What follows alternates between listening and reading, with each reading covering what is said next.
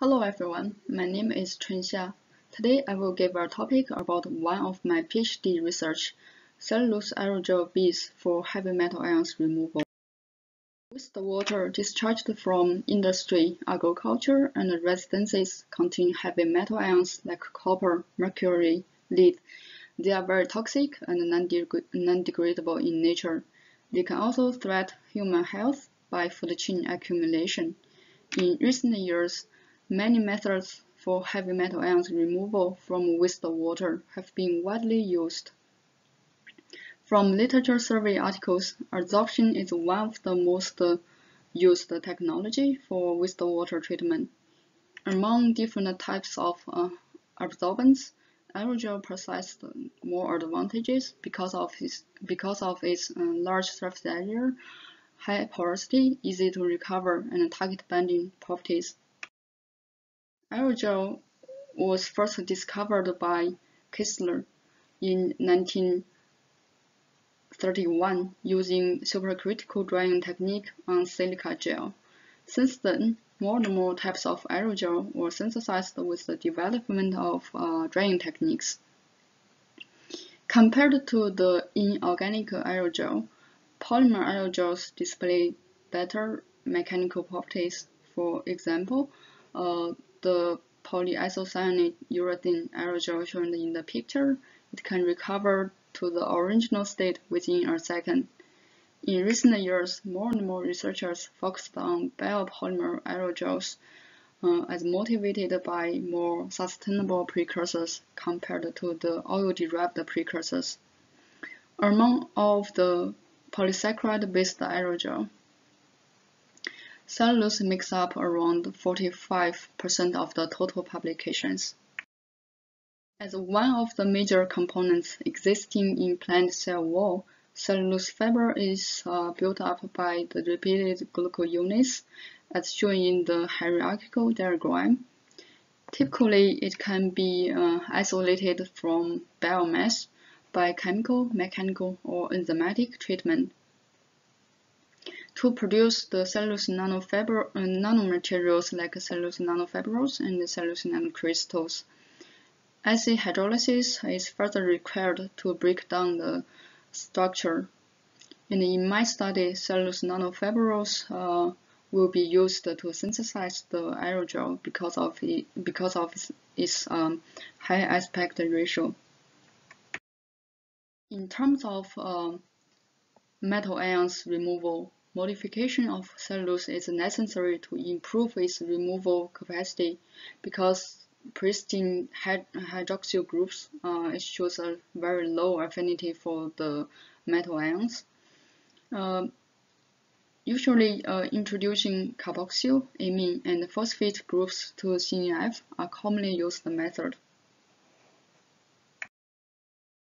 In many of the previous studies, cellulose nanofibrils were directly used as the fibril form for metal ions adsorption. This will cause uh, secondary contamination because it's not easy to recover the single fibers after adsorption. Um, so herein we assemble the individual fibers in aerogel form to solve the problem. Meanwhile, cellulose aerogel beads were prepared instead of monolith. So our, our hypothesis is um, smaller aerogel beads will possess larger surface area, shorter diffusion path length, and faster adsorption rate when, compare, when compared to the aerogel monolith.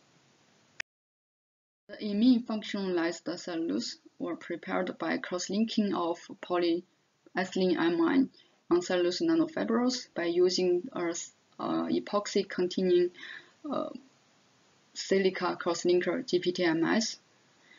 And then the cross-linked mixture was dropped to liquid nitrogen to form the beads with diameter around 3 to 4 uh, millimeters. And the beads were further subjected for freeze drying to produce the cellulose aerogel beads. In brief, the porous structure in the beads were constructed by using the ice templating uh, approach. And the mechanism uh, of this technique uh, was shown in the is shown in the diagram in the diagram on the right. The mechanical strength of the wet beads uh, were measured by our microtester instrument, and clearly the strong network uh, were produced after a cross-linking reaction. The bead could recover to the original state um, without dissociation after 10 cycles of compression um, test uh, when you when 50% strain was used. We can see in this uh, video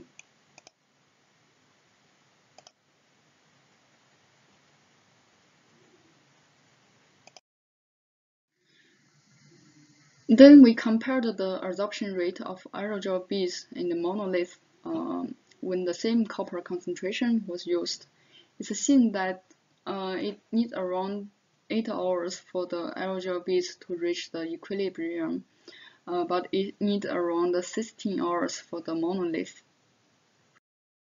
We asked about the adsorption capacity of the bead, and here we studied the adsorption isothermal.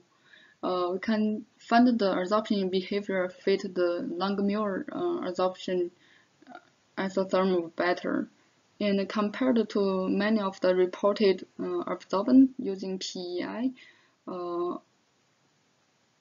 our beads shown compet com competitive adsorption capacity as shown in this table.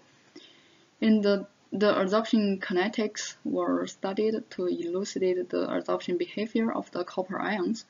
The data was fitted uh, to the pseudo first and second order models, and the results uh, suggested the data uh, fitted the pseudo second order model better. It means the adsorption process was chemical adsorption. And in the end, I would like to thank Salu uh, for the instrument support, uh, thank NSERC for financial support, and thank Tam Research Group for their help. Uh, thank you for your attention.